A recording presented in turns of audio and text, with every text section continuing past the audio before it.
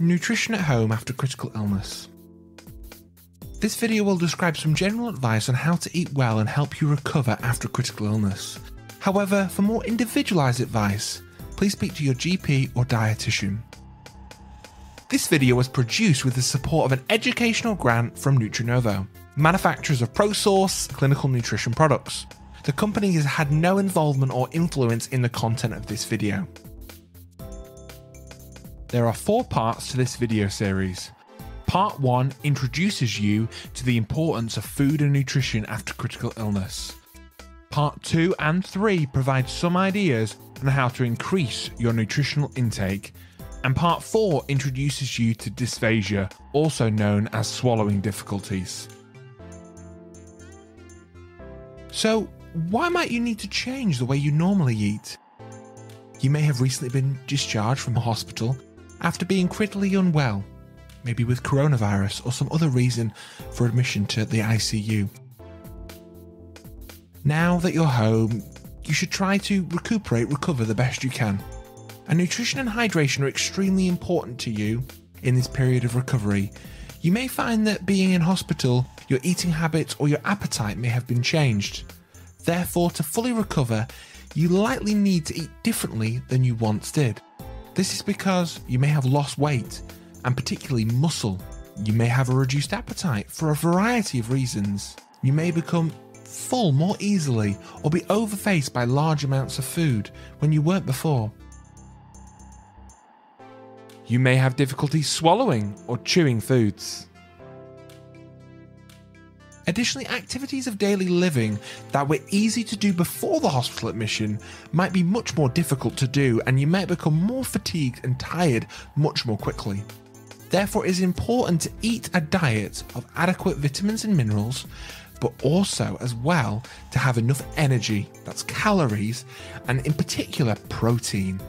And protein's the thing that helps you rebuild some of that muscle mass that you may have lost during your admission. This may be more protein than normal, and this is to help maintain and support the building of your strength back to what it once was before. Don't worry if it takes a long time to regain your weight, your muscle mass, your energy, and your health and well-being. If you had excess weight before entering the ICU and lost weight during your stay, aim to maintain your weight and gradually rebuild strength and muscle using protein rich foods and resistance based exercise. You may have even been prescribed high energy, high protein supplement drinks from hospital on discharge. Now, these can be really helpful, especially if you're struggling to maintain your weight on a high energy, high protein diet alone. So, protein.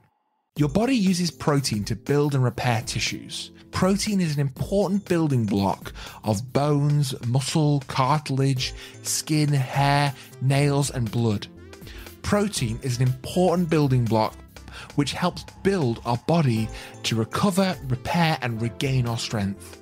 The long term after effects of critical illness include loss of muscle protein and difficulty in regaining some muscle mass and strength. Eating enough protein alongside doing the appropriate physical activity will help with this. Note, if you have kidney disease, please ask your doctor or dietitian for advice on protein intake. Protein is found in foods such as meat, chicken, fish, and eggs. Other protein containing foods are milk and dairy products, cheese and yogurt, for example, soy, Quorn, and pulses. We will provide you with some ideas of how to add more protein in your diet throughout the video. Follow some of the helpful tips in the video to restore your strength and improve your recovery following critical illness.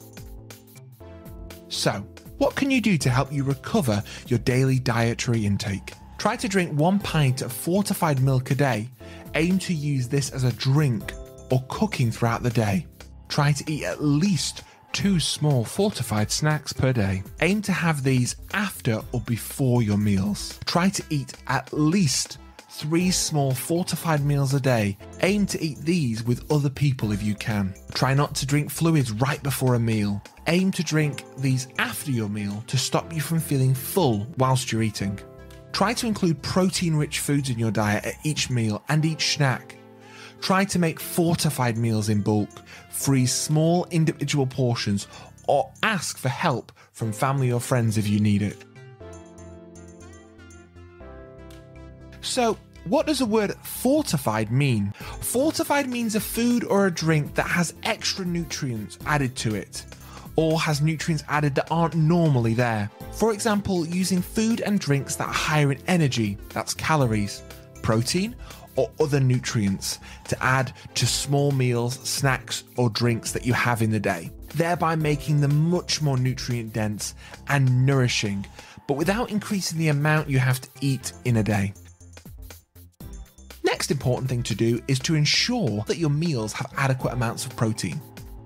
They can be found in meats such as chicken, pork, and beef. Now try to choose cuts without too much fat on them. If you find it too difficult to chew or swallow meat, cut them up into small pieces, or having them with gravy if it's too dry for you. You will find protein in fish or seafood. Try to have oily fish at least twice a week. This includes salmon, mackerel, or sardines. These are heart healthy and contain important vitamins and minerals. For example, seafood including prawns, scallops, and mussels are also high in protein. Eggs are another source of protein. Pulses, which are high in fibre and contain iron. Vegetable protein alternatives can be used, such as tofu, tempeh, or Quorn.